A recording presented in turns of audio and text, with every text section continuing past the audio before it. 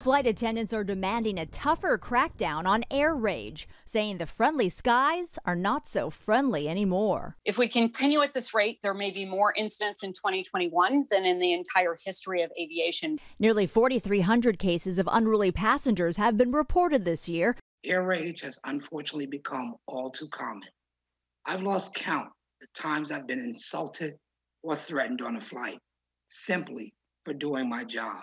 Most cases are mask related. Flight attendant Teddy Andrews testified on Capitol Hill Thursday about one such encounter with a passenger. He said, N word, I don't have to listen to a damn thing you say. This is a free country. I was completely taken aback. I didn't know what to say. But he continued, you heard me, N word boy. And new this morning, another frightening encounter in the sky. Word that a man tried to storm a cockpit on a JetBlue flight from Boston to Puerto Rico while attacking the crew. The FBI says the man was yelling in Spanish and Arabic, saying he wanted to be shot, and then tried to strangle a flight attendant.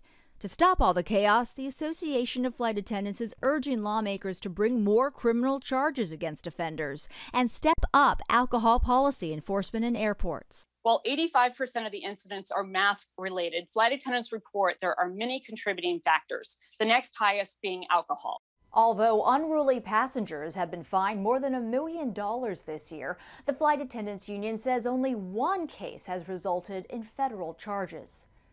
Andrea Fujii, ABC News, New York.